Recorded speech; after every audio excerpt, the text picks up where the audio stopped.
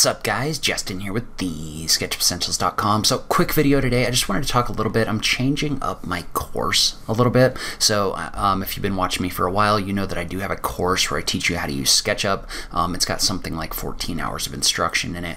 I also had a community product where you could call in and uh, get help, um, get live help, as well as a community forum that was contained inside of that. What I'm doing is, after thinking about it, I think it's going to make sense to combine those into a single product. So now if you purchase the SketchUp Essentials course, moving forward, you're going to get access not only to all the training, which I do have a fair amount of training in there. Um, I want to say my favorite training that's contained in there, because we've got everything from interior design, construction documents with layout, advanced modeling methods.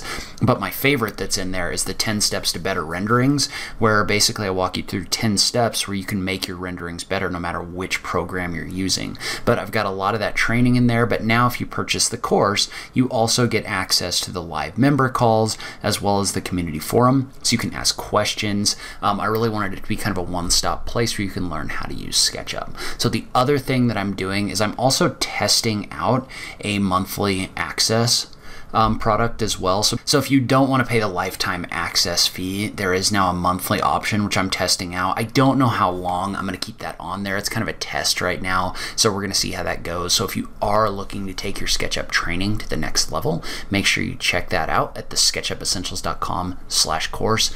As always, thank you so much for taking the time to watch my videos. I really appreciate it. And I will catch you in the next video. Thanks, guys.